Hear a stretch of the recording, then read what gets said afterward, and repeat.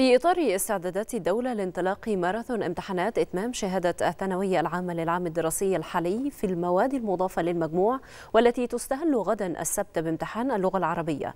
أعلنت وزارة التربية والتعليم اتخاذ جميع الإجراءات لضمان انتظام سير لجان الامتحانات على مستوى الجمهورية مشددة على عدم تأخر دخول الطلاب إلى اللجان والالتزام بفتح اللجان من الساعة الثامنة وربع صباحا لمنح الطلاب الوقت الكافي لإنهاء إجراءات التفتيش.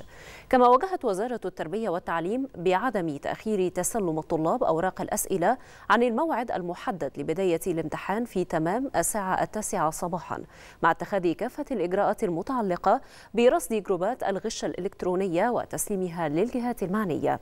كما جددت الوزارة التأكيد على تنفيذ كافة إجراءات التفتيش بحزم ودقة قبيل دخول اللجان وحظر الدخول بأي أجهزة إلكترونية.